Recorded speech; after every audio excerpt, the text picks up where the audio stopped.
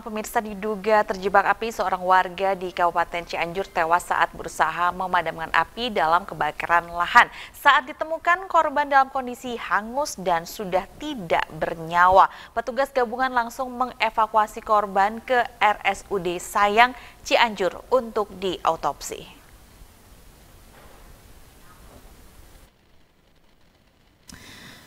Kebakaran lahan di Kampung Geger Bitung, Desa Sukasari, Kecamatan Cilaku, Kabupaten Cianjur memakan korban. Satu orang tewas terbakar saat berusaha memadamkan api.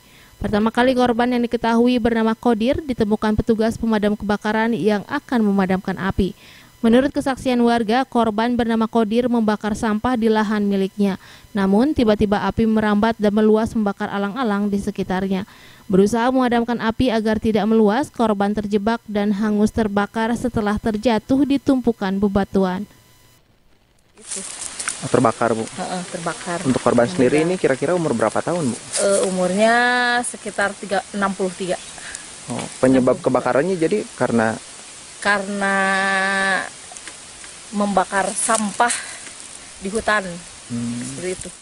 Saat ini pihak kepolisian belum bisa memberi keterangan pasti atas meninggalnya korban di lokasi kejadian dan masih melakukan penyelidikan lebih lanjut. Heri Setiawan, Bandung TV.